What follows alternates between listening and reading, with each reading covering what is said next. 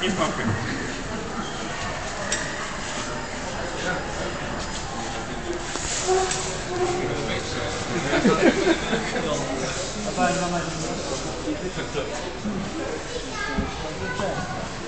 dat is nog niks.